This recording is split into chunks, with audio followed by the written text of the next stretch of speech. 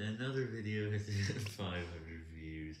Now, it took less than two days for that. This time, after one day and like eight more hours, it was finally hit.